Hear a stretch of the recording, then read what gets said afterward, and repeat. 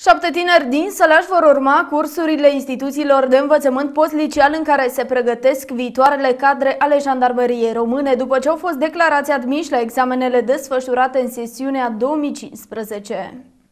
Inspectoratul de jandarmi județean Sălaj a recrutat 30 de candidați pentru susținerea concursurilor de admitere 21 dintre aceștia optând pentru susținerea examenelor la școala militară de subofițerii jandarmi Petru Rareș Fălticeni și 9 pentru școala militară de subofițerii jandarmi Grigore Alexandru Ghica, Drăgășani. În urma susținerii probelor de concurs, 5 dintre aceștia au fost admiși la școala militară Petru Rareș Fălticeni, Ardelean Ovidiu Alin, Lipou Ionuț Daniel, Gorgan Răzvan Cătălin, Perenei Ioan Richard, Runcan Florin și doi la școala militară Grigore Alexandru Ghica Drăgășani, Pașca Marius Ștefan și Păușan Andrei Marius.